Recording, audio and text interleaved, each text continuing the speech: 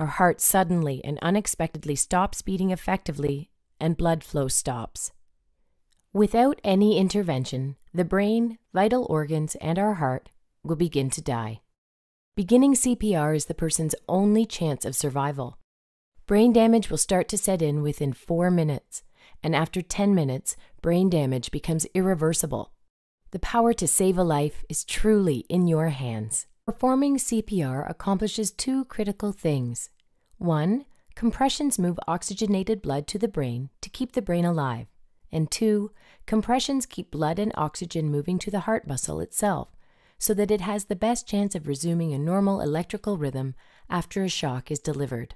As you begin compressions, you are creating an artificial pump and doing the work of the heart manually.